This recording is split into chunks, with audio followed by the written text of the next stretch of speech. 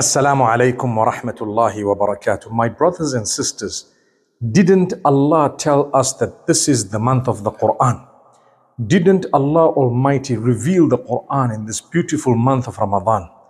Didn't Allah say that this Quran was revealed in order for us to ponder deeply over its verses? Didn't Allah say that we have revealed to you that which will bring about comfort to the heart, the soul, didn't Allah Almighty tell us that He has revealed to us a beautiful reminder that will draw us closer to Him? Didn't Allah instruct us in many places of the Quran to ponder, not just over the verses of the Quran, but over entire creation? This is the book that will bring about comfort. It will bring about goodness.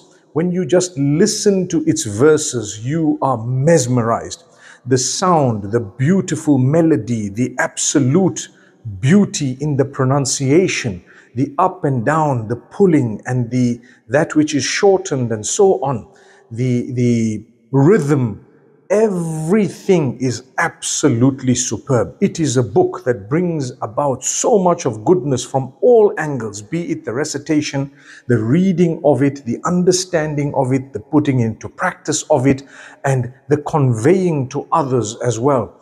All those who have been distressed in one way or another have told us and they have borne witness that when we sincerely looked into these words and this Quran or listened to it or interacted with it, it brought about tremendous comfort. It changed our lives.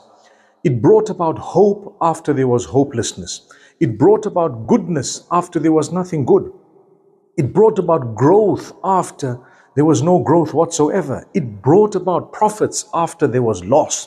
So we ask Allah Almighty to help us Imagine He gives us the month of Ramadan and we, believers, we believe in Allah, we believe in this book, we believe in all the glory, we believe in everything that Allah has said. Still, we are not doing good enough. We need to do more to recite the Quran, to interact with it, to learn its pronunciation, the disciplines, to learn how to recite it. Don't be shy to read it melodiously. Don't be shy.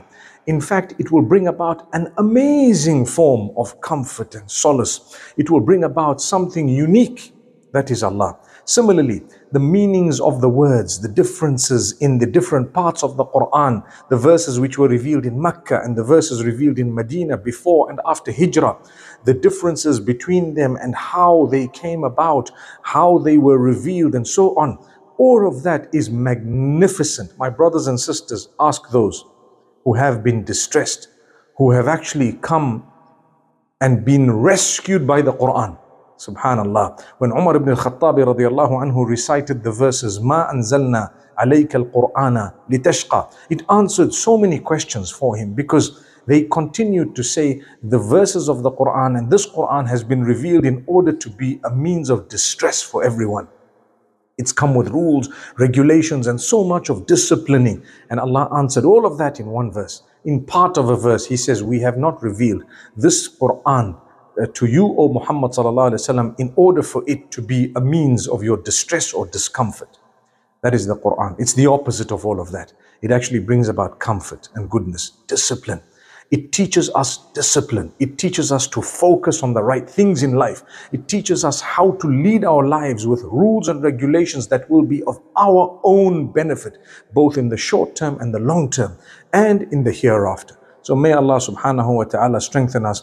Consider yourself fortunate that you have the Quran in your hands.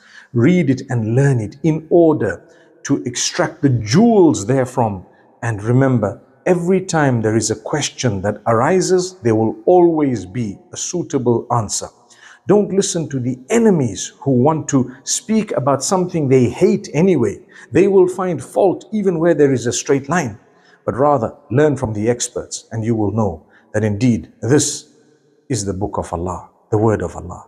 May Allah bless all of you. أقول قولي هذا والسلام عليكم ورحمة الله وبركاته